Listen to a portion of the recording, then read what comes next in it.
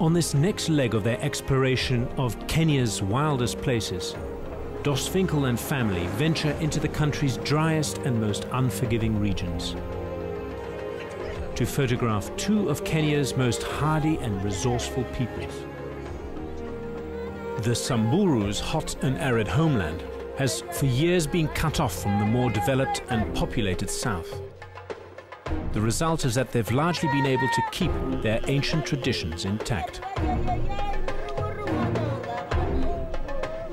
Their northern neighbors, the Rendile, are a mysterious people who more than a thousand years ago fled south from the land of Kush in what is present-day Somalia. With the help of Kenya expert George Rumagere, Dos and family go in search of Kenya's oldest and most specialized desert people.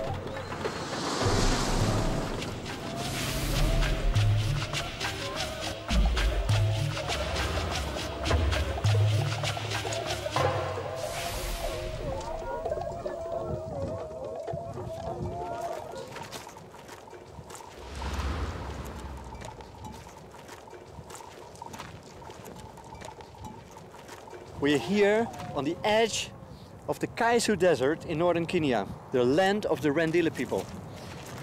And we hope to find out how these people thrive in this harsh environment. And harsh it is. 22,000 square kilometers of stony desert, where temperatures soar to over 50 degrees Celsius at midday. And there's no running water for hundreds of kilometers.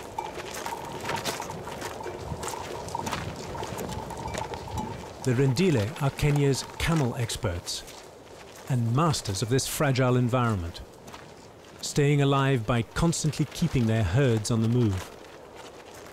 Their whole rhythm of life is dictated by the needs of these extraordinary animals.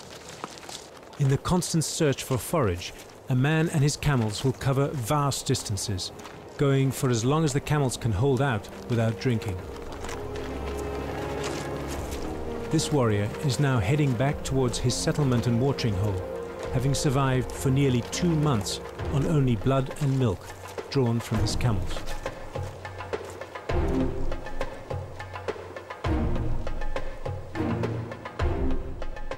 In this arid place, camels are far more valuable alive than dead.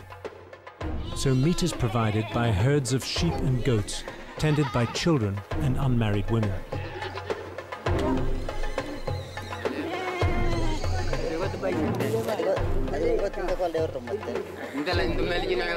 This community and their movable settlement is known as Dupsai Monte. Dupsai is the name of their clan, one of nine in Rendile land, and Monte is their chief elder, who also functions as the spiritual leader or light. The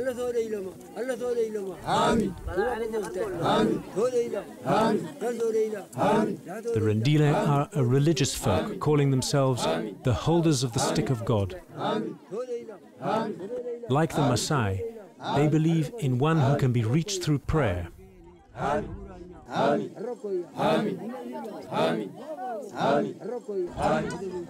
The lice is also said to be able to read the will of God through a number of divination methods, such as tossed stones or bones.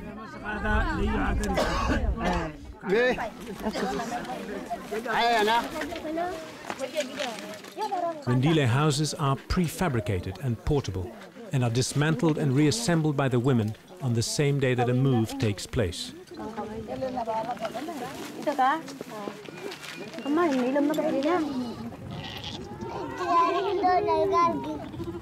Decisions in the community are made communally and arrived at after long discussion. Rendile society is based on consensus. A famous saying states that peace is more important than food. These girls are making the final preparations before taking a herd of goats away for a week's grazing in the relatively lush grass at the foot of the distant Ndoto Mountains. To avoid moving camp every day, the Rendile have evolved a semi-nomadic lifestyle in which the warriors take care of the day-to-day grazing and watering of the camels, whilst the older men, women and children occupy settlements, which shift two to three times a year.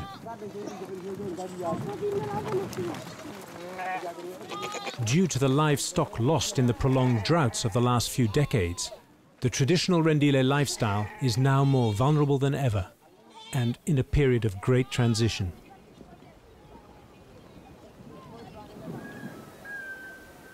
Large numbers have been forced to settle in townships around mission and aid supply outposts. Here, overgrazing has often turned the surrounding country into near wastelands. Korr today is the largest of these settlements. In 1976, the UN launched here a multi-million dollar effort to encourage the Rendile to settle down.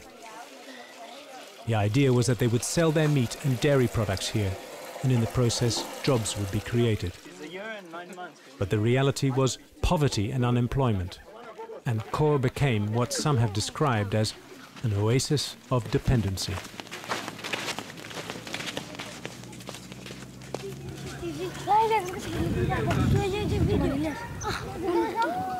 For many Rendile, it was not just food, but also a chance to educate their children that drew them to Korr. Faced with increasing drought, it was thought that the risk facing the family would be spread by having at least one child in school, destined potentially for a paying job.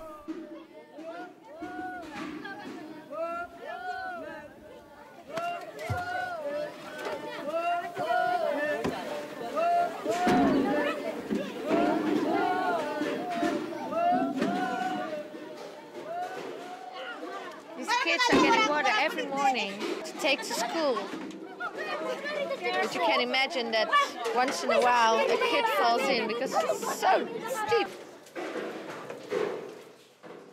In fact, many children have been seriously injured here, and some have even died. This is a horrifying situation, and I absolutely need to find out more.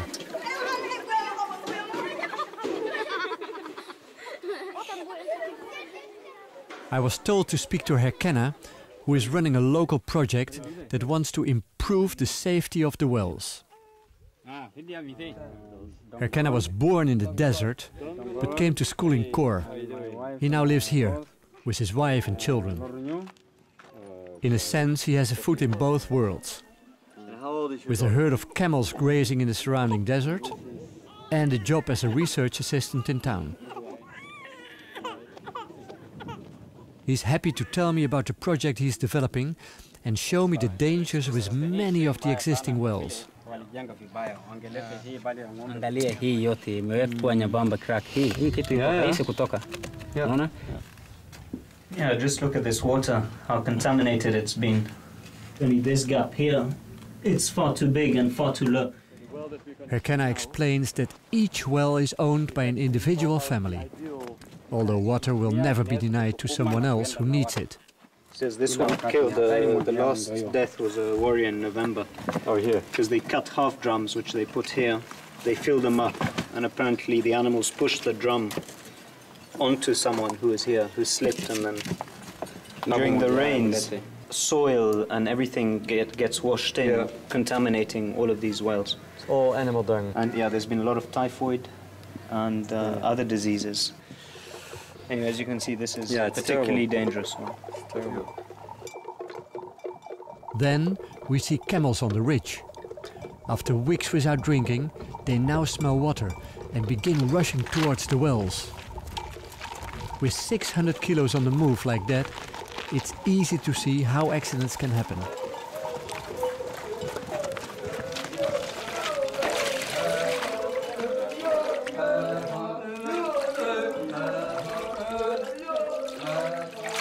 Being the wet season, the water level is relatively high. This means that three men can bring the water up. But by the end of the dry season, when the water has dropped to its minimum, up to seven warriors will be needed.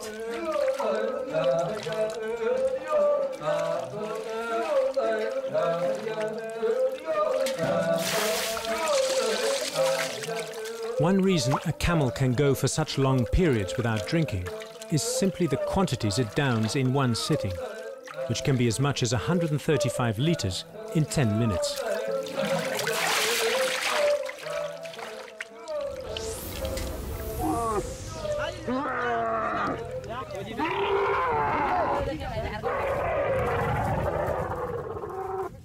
This is just what we didn't want to see happen.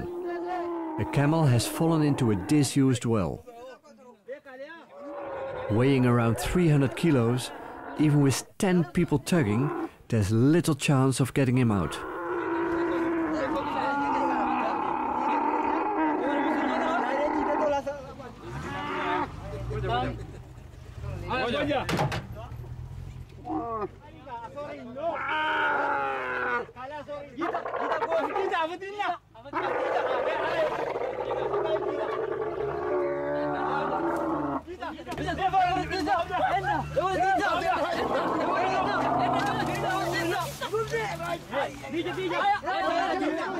This is a classic example of what happens with the open wells in the area.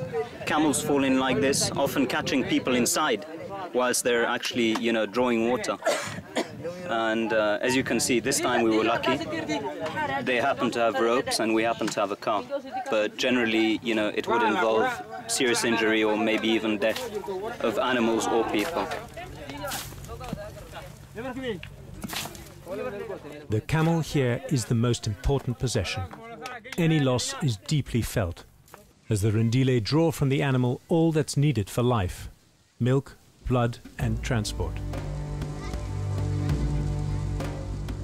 On the rare occasions that a camel is slaughtered as part of a ceremony or because it has become lame, everything from the carcass is used meat, bones, and skin. The camel is so central to Rendile culture that even the days of the week and seasons of the year are named after various camel related activities.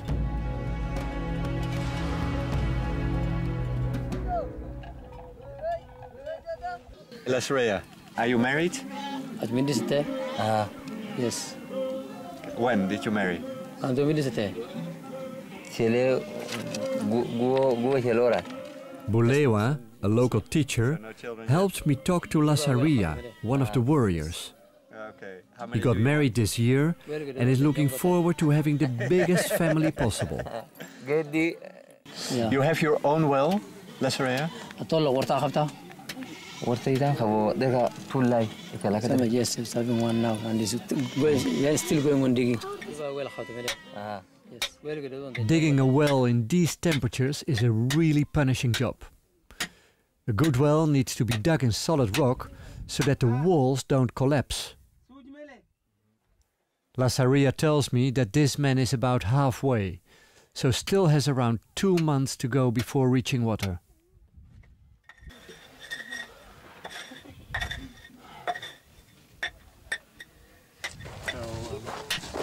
So um, why are there so many wells? Not too many people live here, but there are wells all over. He says that basically uh, there's 292. 292 Yeah. wells. Uh, the use per household requires at least one well per household. Oh, that really? includes people and cattle. When I ask Herkenna what his ideal well looks like, he explains that this is a good example. The water is directed through a pipe into these troughs where the camels can drink safely without endangering the men in the well.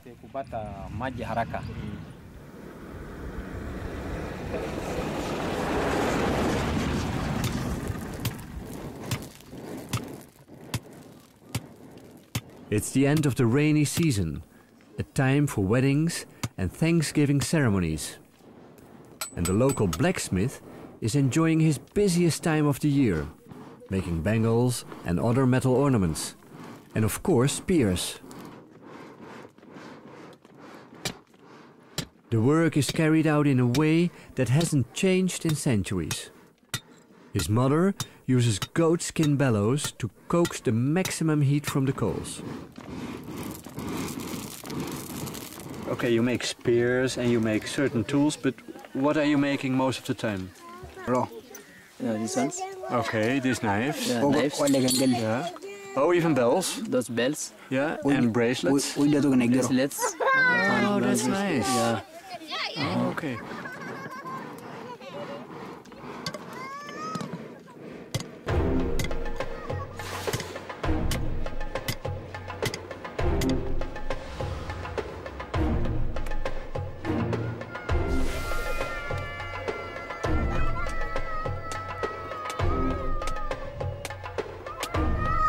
But it's time to move on. By special invitation from Herr Herkenna, in this time of joy and festivities, we've been given a rare chance as outsiders to attend a traditional Rendila wedding. It's planned for tomorrow in Herkenna's family village.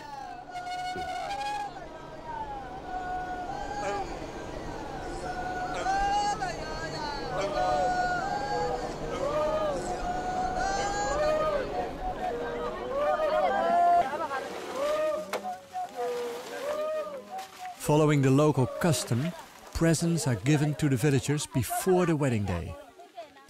And ours is the traditional bag of sugar, some tea and tobacco. It's also an opportunity for us to introduce ourselves before the big day.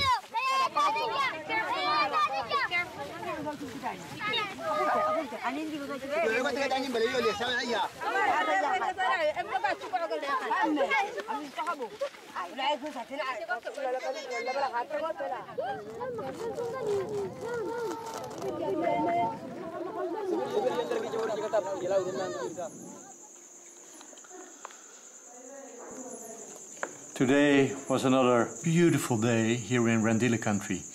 Every day seems to be full of wonderful moments. But what touched me the most was my conversation with Lasaria. He is one of the young warriors who helps bringing up the water from the deep wells. And I asked him how it was to live here in this very dry desert. And he said to me, Well, according to me, this is the most beautiful place on earth, and I will never ever leave it.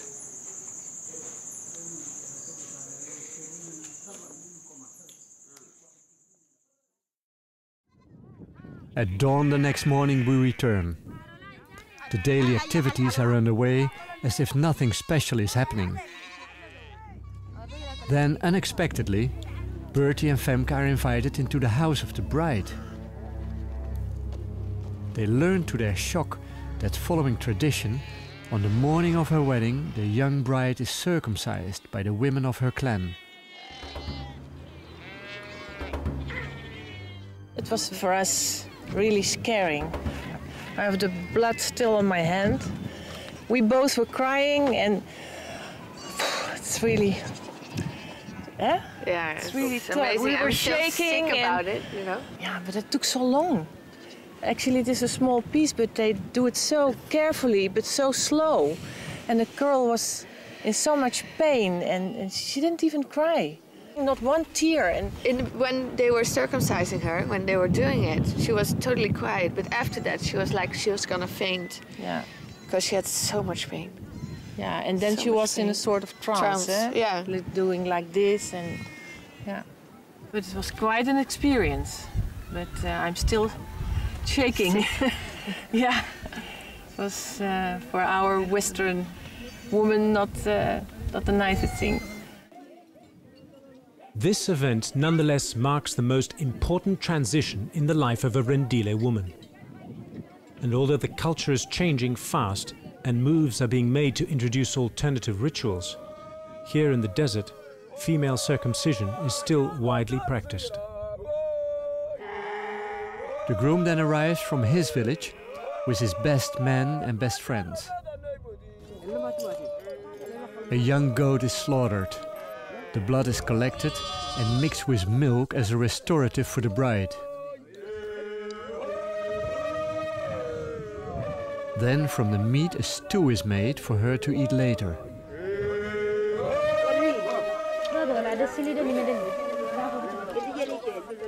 The bride spends the first day inside her mother's house, lying under a blanket, recovering from her ordeal.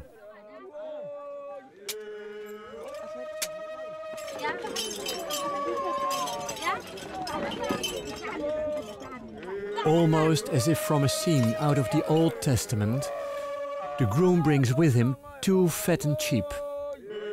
The smallest sheep is presented alive. The fattest will be slaughtered, and the meat divided up for the bride's family.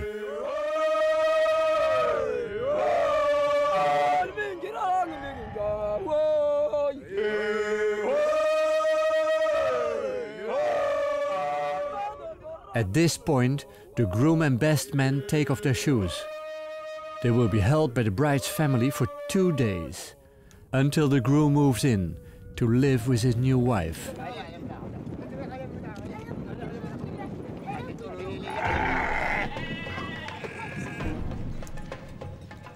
The father of the groom traditionally pays eight camels to the father of the bride as a dowry.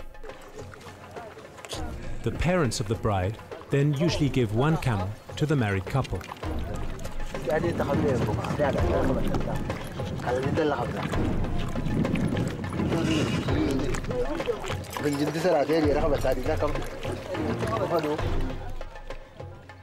Once butchered, two choice pieces of fat are taken into the house and presented as a special gift.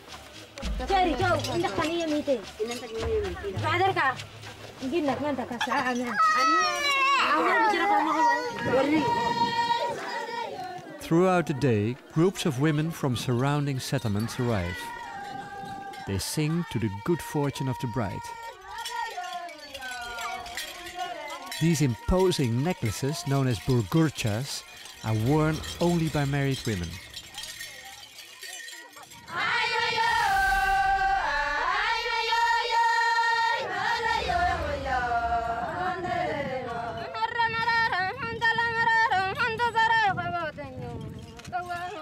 The Rendile have a taboo against marrying within the clan. And as the girls have few opportunities to meet men of other clans, marriages are usually arranged by the parents and elders. Although the couple can refuse to go ahead with a match, that would usually mean a move away from the settlement.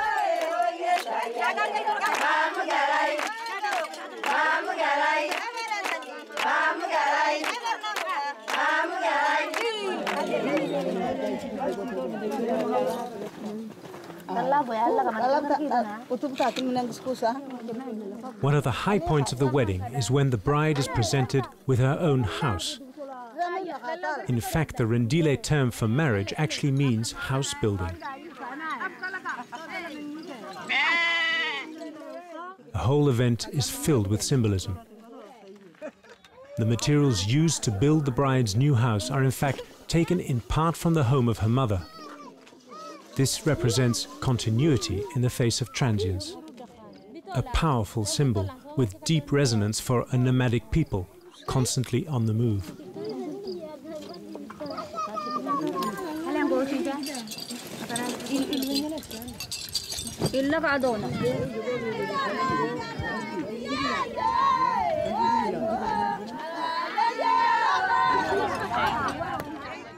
Here, the bed is being made for the newly married couple.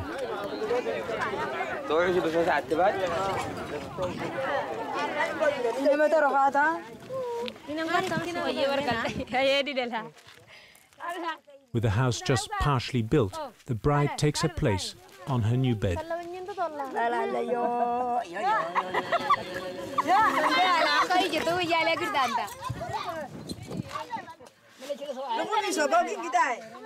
While the women do all the work on building the house, the men arrange freshly cut branches of acacia thorn around the house. This also primarily has a symbolic function, wishing safety on the young couple as they begin a new life together.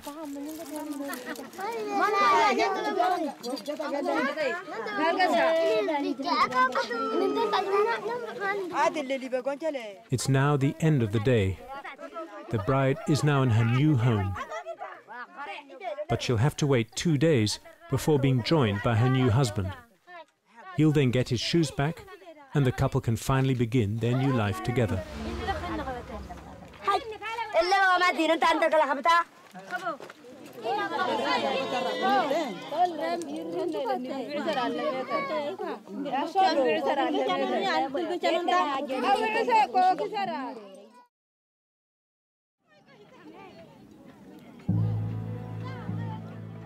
The Rendile are well known for their near obstinate resistance to change.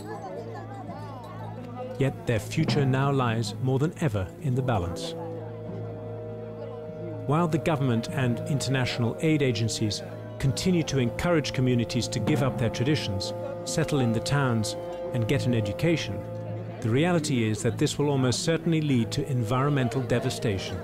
as overgrazing and the need for firewood turn the larger settlements into wastelands. Gilir kan? Intinya ini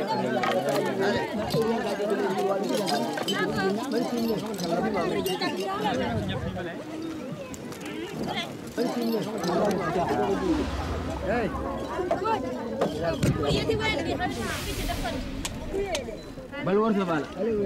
Tidak.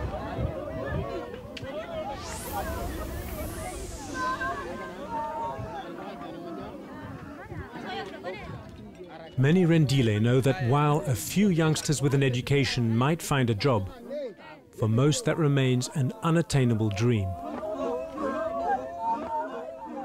Life in the Kaisut has never been easy, but within traditional society, someone in trouble will always find help.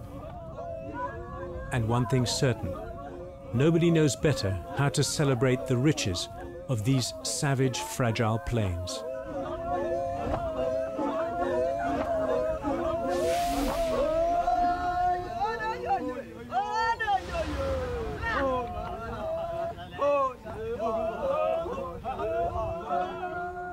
The southwestern edge of the Kaisut is bordered by a dramatic line of hills known as the Ndotos. Behind them lies the land of the Samburu, a proud group of cattle nomads whose traditional lifestyle is increasingly under threat from recurring drought. But an enterprising few are trading their cows in for Rendile camels in an effort to hold on to their traditional pastoral way of life.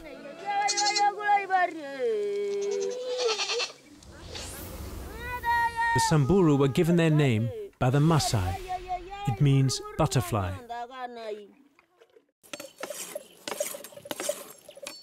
This describes both their constant movement and the impression of delicacy and beauty created by their personal adornments.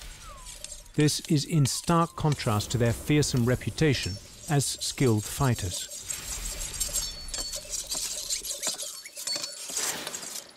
On this trip, our plan is to reach an isolated community. And as there are no access roads, we'll walk in with the help of pack camels.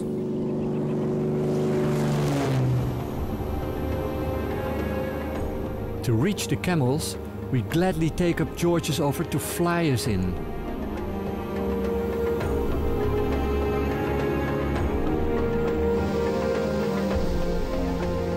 The rugged hills of the Matthews Ranges have a raw primeval beauty.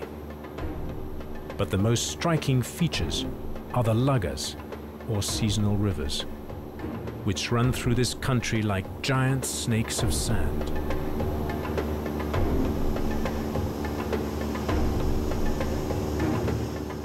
Finally, George has the grass strip in sight and we brace ourselves for the landing.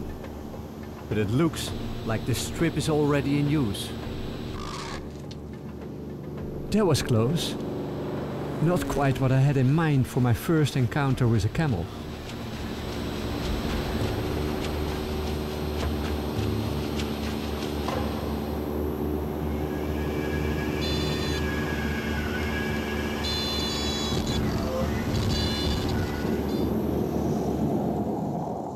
Camels have always intrigued me and I'm looking forward to this unique opportunity to get to know them.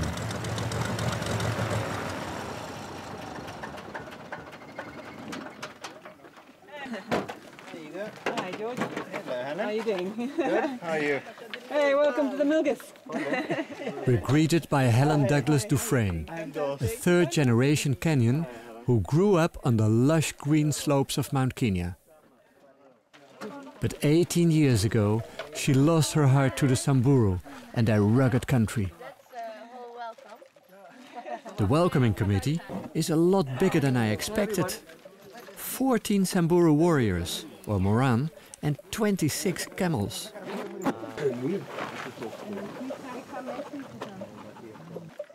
As we load the camels, I begin to appreciate why there are so many of them. For a trip like this, everything needs to be carried in. Also, many potential dangers lie ahead. Spare camels are needed in case of accidents, which can be caused by quicksand, rockfalls, or even lion attacks.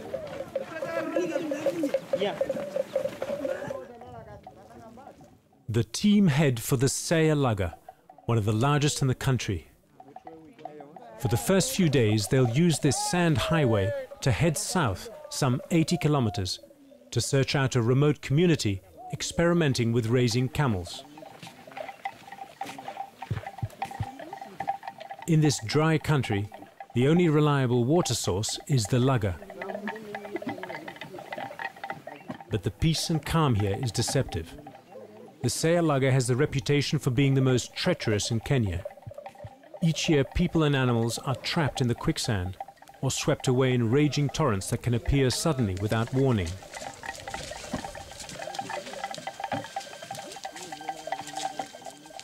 The sand in the Lugga softens. Everyone feels it. The camels are getting nervous.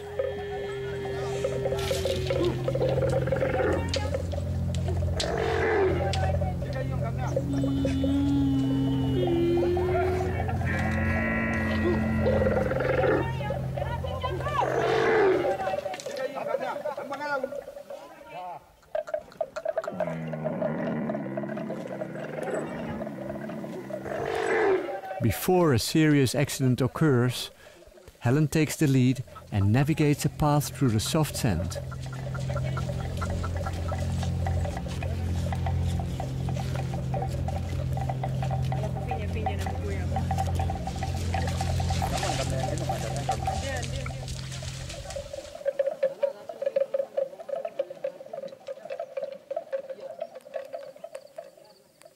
That evening, in the most wonderful setting imaginable, we get the first real taste of Samburu culture. A spontaneous performance of song and dance. Most evenings this goes on until late. Their deep resounding calls and rhythmic chants mingle with the natural sounds of the night.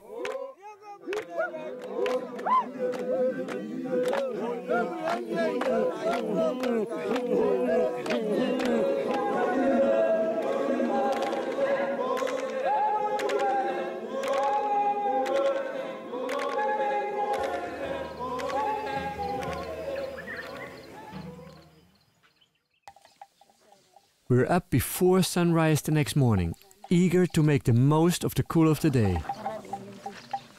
To keep our camera equipment running, we have to rely on this small solar panel to charge our batteries. All right, that looks good. Now we're going to connection because this camel can only function with solar power. Yes. Believe it or I guess if the camels are ready and everyone's set, we might as well take off before it gets too hot, yeah? Yeah. I saw some elephants last night about one Yeah. o'clock in the morning down in the Lugga. I'd like to have a look and see their tracks. should, yeah. See what else came to the waterhole. Okay. These are very, very fresh elephant tracks. Look, like this is his little foot and two thank you. hands. Yeah. You wanted to see some proper leopard tracks. Yeah. There you go. Show me. You can see it's That's perfectly round, yeah? Yeah. There's no nail mark, so you know it's a cat with retractable claws. So he came to drink here, right? Yeah, obviously. It's a shame they must have got wind of us and then And then they ran off. took off. Yeah, but we'll see where they drank upstream. Yeah. Let's go, guys. Martin.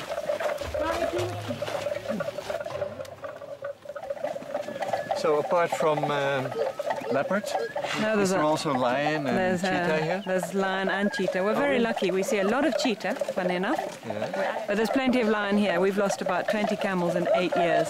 20 lion. camels in eight years. Yeah. Oh. Yeah. The camel is perfectly adapted to this semi-arid country and is widely used in the deserts north of here as both a pack animal and for its meat and milk. We quickly adjust to the natural rhythms of the day, pacing ourselves to the ambling gait of the camels. By starting at dawn and making regular stops, We're able to cover around 15 kilometers before the animals begin to tire.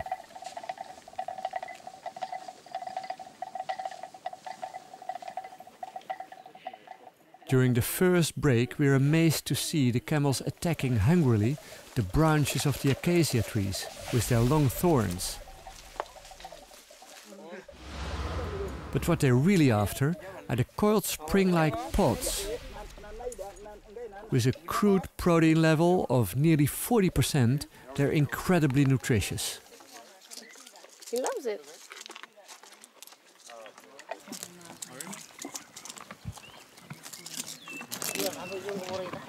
I'm amazed by their anatomy. If you see the elbows, the way they bend them, and the way he's lying, that's amazing. This animal is completely built for the desert. Because you see the eyelashes? They're very long eyelashes. And that is to uh, catch all the sand during a sandstorm. And also the ear. The ear is very small, full of hair, so that sand cannot go in. Yeah, you're good. No, no, no, Okay, no, Franco, no, would you no. like to? Yes, I do. yeah. Yeah, okay. This is hot. Yeah, well, you'll get used to it.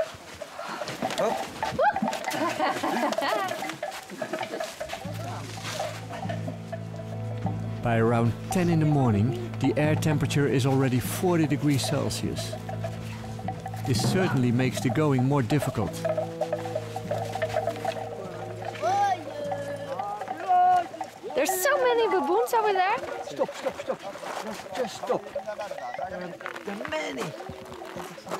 Look, look, look. Thing on there between. But there must be a water hole there. Yeah, that's what I'm thinking. And I think there are more than 100 baboons. Getting close is going to be difficult. you approach from the left, The bulk of the troop appears to be paying no attention to us, but a couple of sentries will be keeping a sharp lookout. These baboons are not afraid to show themselves. But will they let us get close enough for a good picture?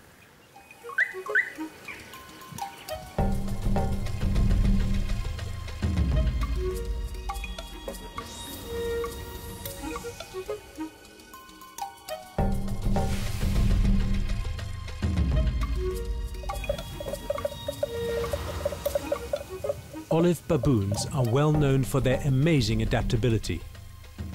The group functions as a cohesive unit organized around a core of related females. With their food well spread out in country like this, the group needs to cover around 5 kilometers a day in order to find enough to eat. probably thought I better comply. I don't even tap his toes. He does it. You're a very good camel, you know? Most days by 2 o'clock in the afternoon, we had made our quota of kilometers and it was time to stop, let the camels graze and set about building camp.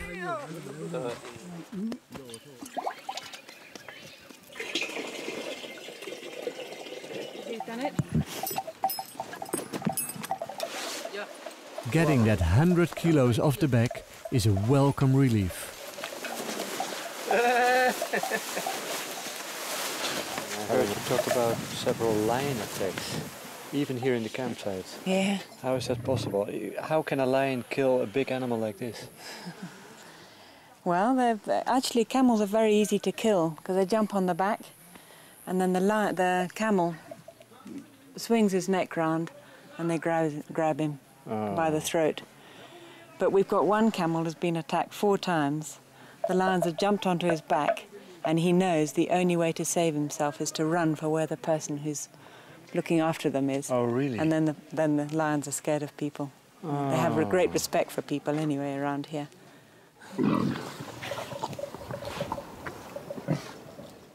The camels have already found a drinking hole. Strangely enough, this master of the desert cannot dig for water himself and has to rely on people or other animals to do it for it.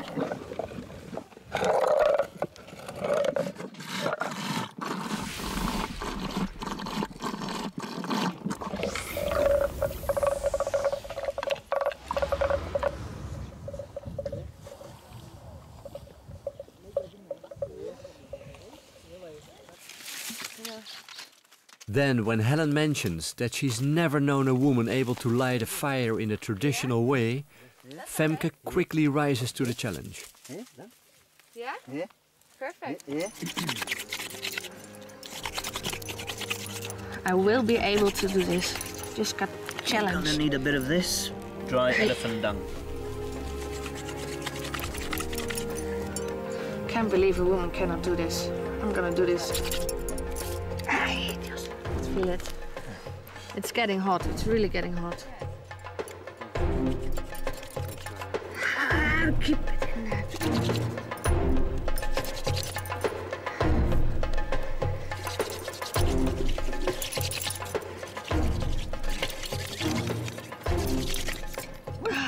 Hey, wat? Oei. Are you a man or a woman? Come on.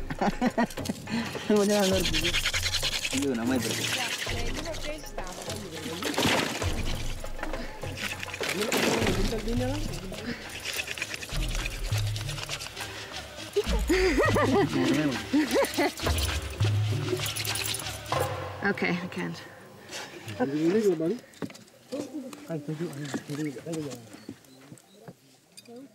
After 45 minutes of valiant effort, Lele Sengay manages to get a flame going in just 45 seconds.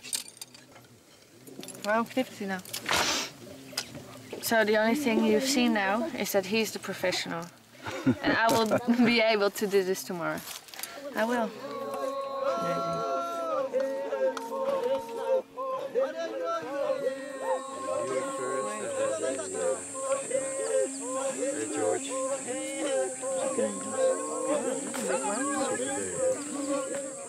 Once night falls, the camels settle down in a group in the center of the camp. They're now at their most vulnerable. This is when most lion attacks occur. While some camels take turns sleeping, others stay alert, quietly chewing the cud.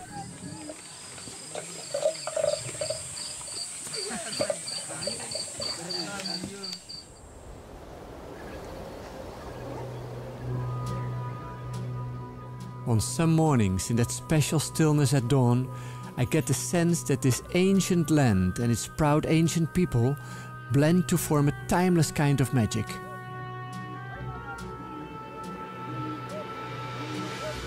Do you consider these people primitive? I think that the world has got it the wrong way around. I think we're the primitive ones, and I think they've got life correct because you just live with these people and you just feel happiness all the time. You know, if you go to our society, just people don't seem to be happy like when you're with these people. We're the primitive ones. We've lost the plot.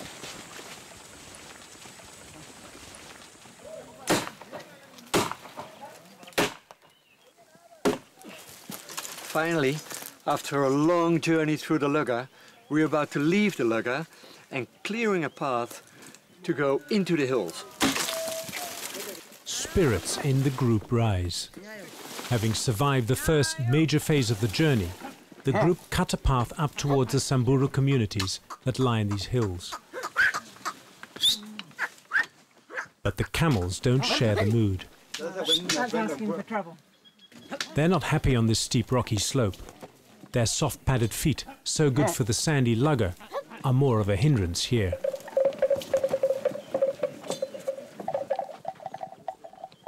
As we climb onto the ridge, a new world opens up before us. Rolling hills punctuated by towering remnants of ancient volcanoes. And the vegetation has changed. There are many different kinds of flowers here, but they're all tiny. You have to get on your hands and knees to see them. I really like the cactus-like euphorbias. Beautifully adapted to these dry conditions, they hold a poisonous white sap. This purple variety produces a dye used by the Samburu to color cloth and leather. This is beautiful. Alice, what is it? Gum Arabic. We use it in the lick of stamps, boiled sweets, all Chewing sorts of gum also? Yeah, yeah, yeah. It's used a lot. It's really beautiful. The Acacia Senegal.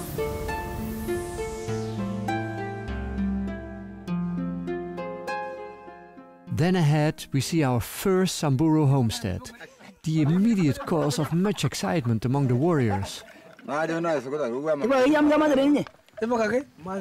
Uh, basically, what's happened is that they, these guys haven't uh, drank cow's milk for a very long time. And uh, when we arrived here, the women offered some, some milk. And the first thing they, they asked was, Is it cow's milk? And she said, Yes, of course. And that was complete excitement. Uh, yeah.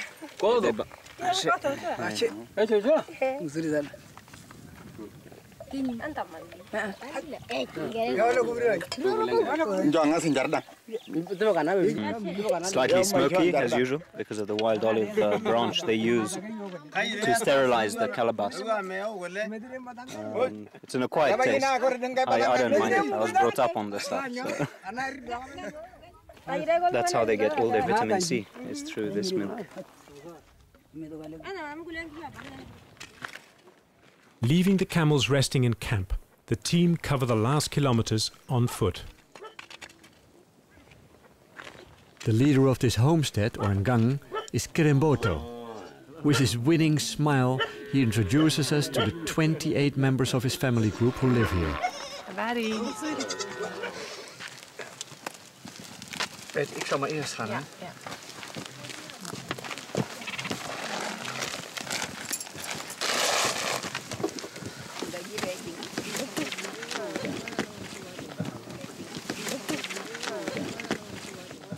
This is for you, Yes, yeah. and that's for the children.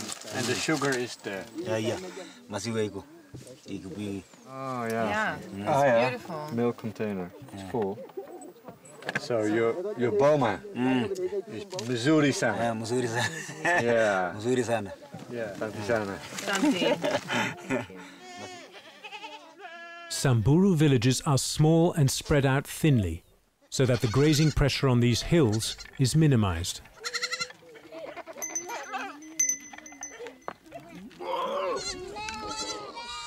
Any form of settled farming is looked down upon.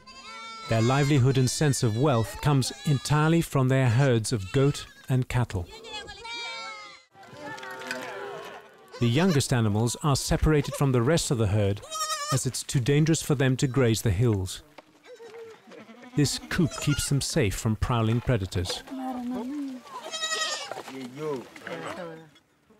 When I ask Kirimboto how many cows and goats he has, he just replies, many. Counting for the Samburu is thought to bring bad luck. Nevertheless, he knows his herd intimately, and should just one animal be missing at the end of the day, he would know it immediately.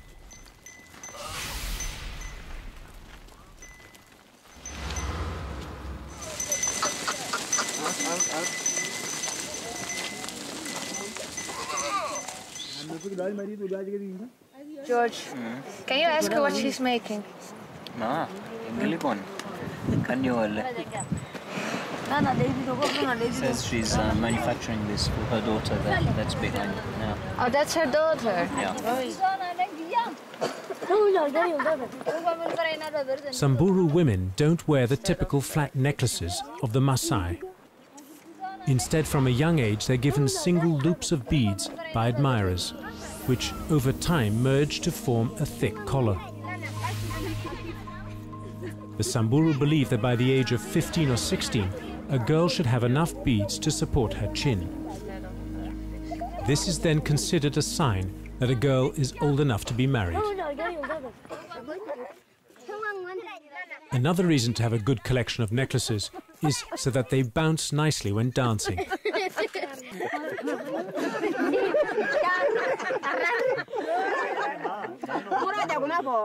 A big discussion soon develops. This lady is concerned that she has too few to make the right impression. She says even if no car, she'll walk up to Wamba to get her beads even now. Right now she's ready to go. She's, she's desperate for beads. Yeah, she wants more beads.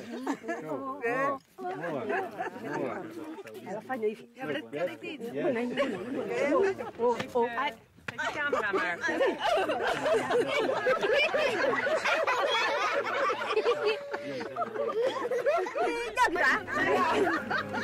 Ja.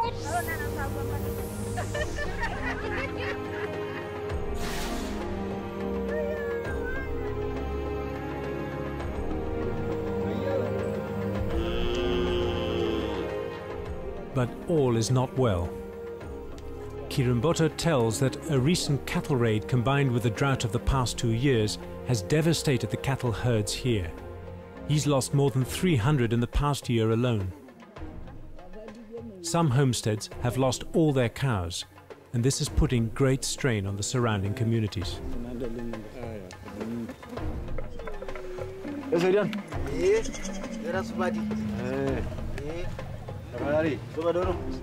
But Kirimboto's uncle and neighbor, Lenaryu, thinks he's found the answer. In the camel, a beast quite foreign to the Samburu.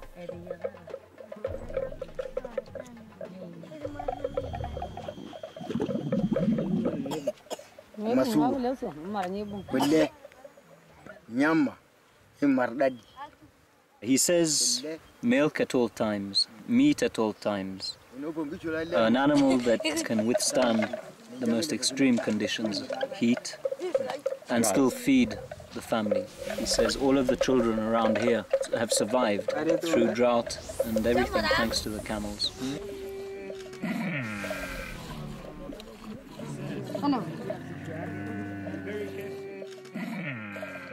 Camels breed at a much slower rate than cattle and are prone to more diseases.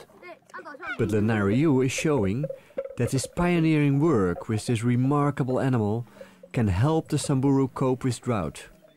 And this is a problem that is affecting more and more their savage yet beautiful home.